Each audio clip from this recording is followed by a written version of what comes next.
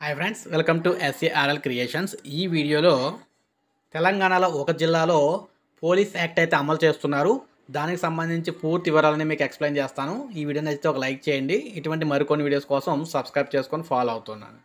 ఇక్కడ చూస్తున్నారు కదా వచ్చే నెల ఎనిమిది వరకు అంటే ఆగస్ట్ ఎనిమిది వరకు కూడా పోలీస్ యాక్ట్.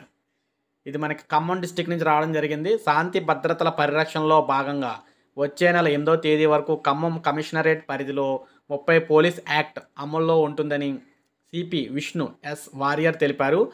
ఆంక్షలు అమల్లో ఉన్నందున అనుమతి లేకుండా ఎలాంటి సభలు ర్యాలీలు నిర్వహించవద్దని ఆయన ఓ ప్రకటనలో సూచించారు.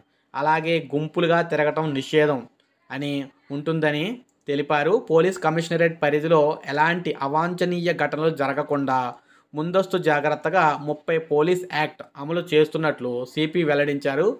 సో చూశారు కదా ఈ జిల్లాలో ఈ జిల్లాలో సభలు కానీ సమావేశాలు కానీ ర్యాలీలు కానీ ఏది కూడా నిర్వహించకూడదు. అదేవిధంగా జనాలు గుంపులుగా తిరగకూడదు. జనాలు గుంపులుగా తిరిగినట్లయితే ఆల్రెడీ యాక్ట్ అయితే అమల్లో ఉంటుంది. పోలీస్ యాక్ట్ అందువల్ల ఈ థర్టీ యాక్ట్ ఏదైతే అమల్లో ఉంటుందో అందువల్ల కేసులు అయితే పెడతారనమాట సో చూశారు కదా?